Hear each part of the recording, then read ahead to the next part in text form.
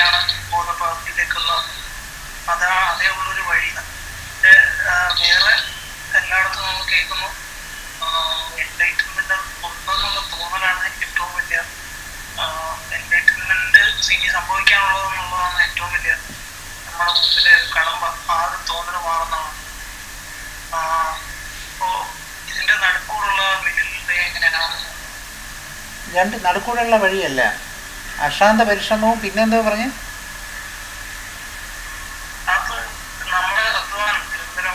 ആ നിരന്തരമായ. അശ്രാദ്ധ പരിശ്രമവും നിരന്തരമായ അധ്വാനം തമ്മിൽ വലിയ വ്യത്യാസമില്ല. രണ്ടും ഒന്ന് തന്നെ. അപ്പോൾ അതിന്റെ ആവശ്യം നരേന്ദ്രനാഥനെ സംബന്ധിച്ചിടത്തോളം വിവേകാനന്ദനാകുന്നത് വരെയും അദ്ദേഹത്തിന് ബോധോദയം എന്ന് പറയുന്ന കാര്യത്തിൽ പോലും വിശ്വാസമില്ലായിരുന്നു എന്നുള്ളത് നമ്മൾ ശ്രദ്ധിക്കേണ്ടതാണ്. പിന്നെ അതിനുശേഷം പിന്നെ ശ്രീരാമകൃഷ്ണദേവന്റെ തിരു ശരീരത്യാഗത്തിന് ശേഷം കൂടുതലായിട്ട് അദ്ദേഹം ഇത്തരം കാര്യങ്ങളിലേക്ക് വന്നു. ബോധോദയത്തെക്കുറിച്ച് സംസാരിച്ചുകൊണ്ടിരുന്നു. പക്ഷെ ബോധോദയം തനിക്ക് ലഭിച്ചിരുന്നെങ്കിൽ എന്ന് പറയുന്ന ഒരു അവസരങ്ങൾ വരെ ഇവരുടെ സഹോദരന്മാർ എഴുതിയ പുസ്തകങ്ങളിലകത്ത് പറയുന്നുണ്ട്. അപ്പോൾ ഇപ്പം നമുക്ക് ആ വിഷയത്തിലേക്ക് നമ്മൾ കിടക്കുന്നില്ല. അതിന്റെ ആവശ്യവുമില്ല. അത് നമ്മുടെ വിഷയമല്ല. അപ്പോൾ ബോധോദയം എന്ന് പറയുന്നത് പരിശ്രമിച്ചാണ് ഉണ്ടാക്കുന്നതെന്ന് അദ്ദേഹം പറഞ്ഞിരിക്കുന്നതിന് കാരണം പറഞ്ഞാൽ അദ്ദേഹം വന്ന സ്കൂൾ അതാണ് തീർച്ചയായിട്ടും. അദ്ദേഹത്തിന്റെ കാലത്തുണ്ടായിരുന്ന സ്കൂൾ എന്ന് പറയുന്നത് അതാണ്. അദ്ദേഹമാണ് ഒരു പക്ഷേ പിന്നെ ബുദ്ധമതത്തെക്കുറിച്ച് പിന്നെ ആദ്യമായിട്ടുള്ള പരാമർശങ്ങൾ നടത്തുന്ന ഒരു വേദാന്തി എന്ന് വേണമെങ്കിൽ പറയാം. മനസ്സിലായില്ലേ? അതാണ് അതിന്റെ സംഗതി. അതോ അതോടുകൂടിയാണ് വാസ്തവത്തിൽ ബുദ്ധമതത്തെ ശ്രദ്ധിച്ചു തുടങ്ങിയത് പറ്റി അതുവരെ അതൊന്നും ഇല്ലായിരുന്നു എന്നുള്ളത് വേണമെങ്കിൽ പറയാം. അങ്ങനെ വേണമെങ്കിൽ വിശ്വസിക്കാം. ബുദ്ധമതവും ശങ്കരനും തമ്മിൽ വലിയ ഗുസ്തിയാണെന്നൊരു തോന്നലാണ് പലപ്പോഴും അതുവരെ മെയിന്റെയിൻ ചെയ്യപ്പെട്ടിരുന്നത്. ഒരുപക്ഷേ വിവേകാനന്ദ സ്വാമികളുടെ പിന്നെ ജന്മം കൊണ്ട് നമുക്ക് സിദ്ധിച്ചതും അതിന്റെ ഒരു സമ്മേളനത്തിന്റെ അത്തരത്തിലൊരു ആശയങ്ങളുടെ സമ്മേളനത്തിന്റെ ഒരു തറക്കല്ലിടാൻ വേണ്ടിയാണെന്ന് എനിക്ക് എനിക്ക് തോന്നിയിട്ടുണ്ട്. വ്യക്തമല്ലത് എന്നാലും അതിന് ഒരുപാട് സംഗതികൾ എനിക്ക് ഉൾപ്പെട്ടിട്ടുണ്ട്. അപ്പോൾ ബോധോദയം എന്ന് പറയുന്നത് ബോധോദയം ഇല്ലാത്തവനാണ് എന്ന് ബോധമുണ്ടെങ്കിൽ മാത്രമേ ബോധോദയം ഉണ്ടാക്കാൻ ശ്രമിക്കാൻ പറ്റുള്ളൂ. ബോധോദയം ഇല്ലാത്തവരാണ് എന്ന് നമ്മൾ തിരിച്ചറിയുന്നത് ബോധോദയം ഉള്ളവരാണ് നമ്മൾ തിരിച്ചറിയുന്നതിനെയാണ് ബോധോദയം എന്ന് പൊതുവെ വിളിച്ചുകൊണ്ടിരിക്കുന്നത്. ബോധപ്രാപ്തി. വളരെ പ്രശസ്തരായ മലയാളി ചിന്തകന്മാർ പണ്ഡിതന്മാർ ഫേസ്ബുക്ക് ചിന്തകന്മാരെയൊക്കെ തന്നെയും ബോധോദയത്തെ തള്ളിപ്പറയുന്നുണ്ട്. ബോധോദയം എന്ന് പറഞ്ഞൊരു സംഗതി ഇല്ല. അതിന്റെ അർത്ഥം വേറൊന്നുമല്ല. അവർ തള്ളിപ്പറയുന്നത് എന്താണെന്ന് എനിക്കറിഞ്ഞില്ല സത്യമല്ലാതില്ല. അതിനൊരു സത്യമുണ്ട്. എന്താണെന്ന് വെച്ചാൽ ബോധോദയം എന്നത് ഉദയിക്കാനുള്ളതായിട്ടൊരു ബോധമില്ല. ബോധം അതിന്റെ വളരെ പരോക്ഷമായ ഭാവത്തിൽ ഒരു എല്ലാ ജീവികളിലും ഉണ്ടെന്നല്ല സവിശേഷമായ ഭാവത്തിൽ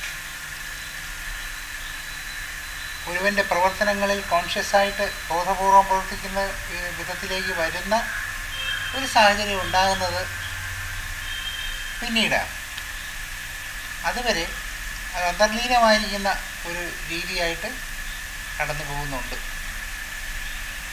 അതുകൊണ്ടാണ് ബോധോദയത്തെക്കുറിച്ച് അങ്ങനെ ആളുകൾ പറയുന്നത്. അല്ല അതിനെ ചിന്തിക്കേണ്ട ആവശ്യമില്ല എന്നൊക്കെ പറയുന്നു. ബോധോദയത്തിന്റെ വേണ്ടിയുള്ള താല്പര്യം ഉണ്ടായിരിക്കുന്നത് എന്നാൽ അതിന് വേണ്ടി ഒരു ഭ്രാന്തി ഇല്ലാത്തത്. രണ്ടും ഒരുപോലെ ശ്രദ്ധിക്കേണ്ട വിഷയമാണ്.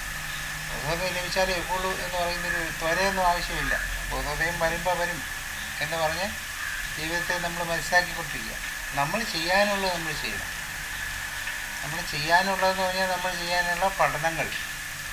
നമ്മൾ ചെയ്യാനുള്ള മനസ്സിലാക്കൽ. ഈ പഠനം എന്ന് പറഞ്ഞാൽ പുസ്തകം എടുത്ത് വെച്ച് ഗ്രന്ഥം എടുത്ത് വെച്ച് ഓരോരുത്തരായിട്ട് ഡോക്ടർ പിന്നെ ഇയാൾ അത് കഴിയുമ്പോഴത്തേക്ക് ബുദ്ധീഫ് വേദാന്തം ഇങ്ങനെയുള്ള ഗ്രന്ഥങ്ങളെ കുറിച്ച് വായിച്ചുകൊണ്ടിരിക്കണം എന്നുള്ള അർത്ഥമല്ല. രാമ രമണവർഷ ഗ്രന്ഥങ്ങളെക്കുറിച്ച് പറഞ്ഞിരിക്കുന്ന ഭാഗം നമ്മുടെ ഏതോ ചർച്ചയ്ക്കകത്തുണ്ടെന്ന് തന്നെ. അതല്ല അതിനകത്ത് ഉദ്ദേശിക്കുന്നത്. മറിച്ച് അവനവനെ തന്നെ പിടിക്കുക അവനെ തന്നെ അനുസന്ധാനം ചെയ്യുക അവനവനെ വാച്ച് സീരിയസ് ആയിട്ട് ഒബ്സർവ് ചെയ്തുകൊണ്ടിരിക്കുക എന്നുള്ളതാണ് ഏറ്റവും പ്രധാനപ്പെട്ട പഠനം എന്ന് പറയുന്നത്. ഇത് ഒറ്റ കാര്യങ്ങൾ നമുക്ക് മനസ്സിലാക്കാൻ പറ്റും.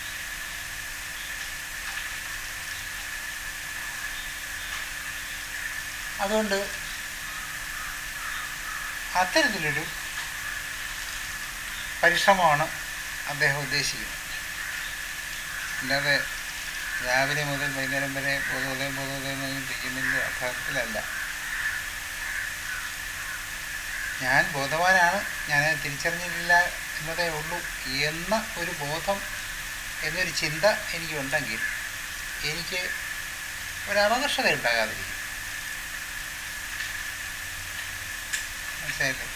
മനസ്സെപ്പോഴും വളരെ ഉത്സാഹത്തോടുകൂടി നീങ്ങി. അതുകൊണ്ടാണ് അഹം ബ്രഹ്മാസ്മി തത്വമസി എന്നൊക്കെ പറയുന്ന മഹാവാക്യങ്ങൾ മുമ്പെടുത്തിടാനും കാരണം. അതുകൊണ്ട് കുറച്ചുകൂടി ഉത്സാഹത്തോടുകൂടി ഒരു മോക്ഷത്വം ശ്രദ്ധി ശ്രദ്ധിക്കുന്നതായിട്ട് നമുക്ക് അതാണ് എനിക്ക് അല്ലാതെ അതൊരു കോൺഫ്ലിക്റ്റ് ആയിട്ട് കാണുക വേണ്ട രണ്ടുപേരും പറഞ്ഞ കാര്യങ്ങളൊന്നും തന്നെയാണ്